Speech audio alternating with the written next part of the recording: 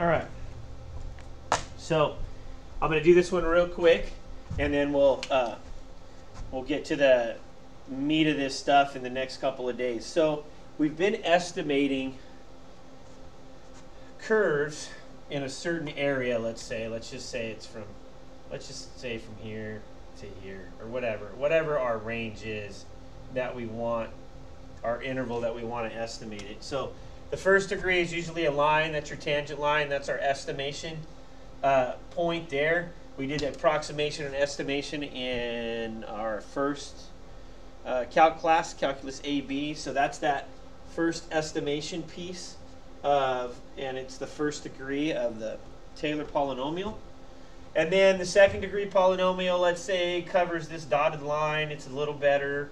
And then we get a third degree, which is this green line, and it gets a little better. So they start getting better and better and better as the farther you go out on the Taylor series. Well, they they're only good for so long.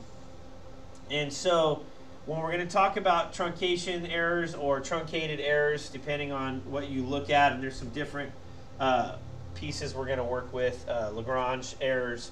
Uh, what we're talking about is what's the error right here? So this little purple line I have is the error of the third degree polynomial based from the, on the original f of x. And so basically what that really is, is it ends up being, this error ends up being the next term in the series. So it's the next polynomial. So it's the one that's, so if this is the f to the third, then the error is going to be the rest of it. And it would just keep going, but we just assume that it's going to be f to the fourth, not f to the fourth, the fourth term of this Taylor polynomial, or the fourth degree. So in a, in a quick nutshell, we'll get a little more deep detail. That's what we're talking about when we're talking about an error. We're talking about the error of a third degree polynomial. And then if we went to a fourth degree polynomial, it may be a little smaller and it gets farther and farther and farther and they get smaller and smaller and smaller. So the error is that idea of how far off is it just as we get past the third degree or we get past the fourth degree. So when it's something like this, here's our Taylor series. It's an estimate for this, this piece here. So we know that uh, A is equal to 1, and then uh, our R is our R is equal to x squared because it's a geometric series. And we're going from negative 1 to 1. So if we look at the general formula, we've got 1, and this will be x, uh, x squared to the 0 power, which gives us 1. This is going to be x squared to the 1, x squared to the 2. So we're really looking at this idea that the general formula is x squared to the n power.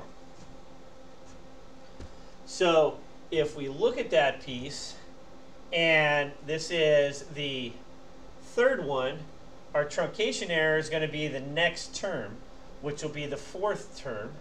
So this is going to be x to the eighth over 1 minus x squared. That would be our next piece there.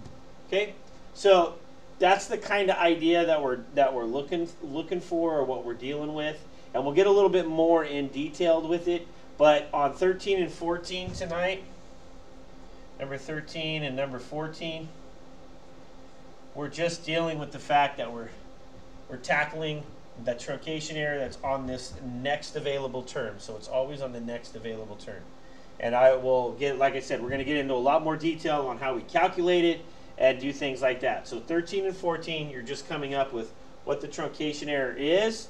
And then we've got a formula we got to deal with and some other pieces to it. And so then we're going to get into the Taylor's theorem and some other pieces like that.